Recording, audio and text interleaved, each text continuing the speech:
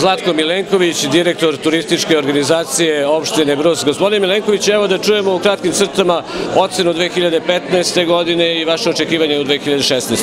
Evo što se tiče 2015. godine, turistička organizacija opštine Brus za nje ovo bila najuspešnija godina do sada. I po broju posete turista, a i po broju noćenja, znači ostvaren je rekordan broj u zadnjih 15 godina.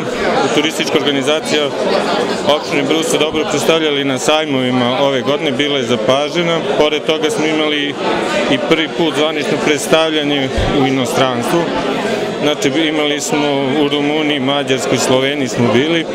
Tako da smo prošlu godinu završili, kao što sam rekao, najbolje do sada, a sa velikim ambicijama ulazimo i ovu godinu. Ono što nismo prošle godine završili, to je turistička signalizacija. Uspeli smo da radimo projekat turističke signalizacije.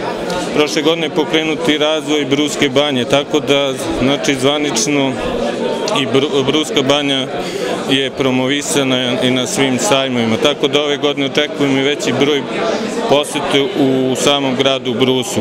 Što se tiče i drugih vidova turizma, krenuli smo sa razvojem seoskog turizma u Krivoj reci, gde su kategorisane dve kuće, tako da nastavljamo u ovoj godini i dalje u drugim selima koje, koje imaju mogućnosti za to.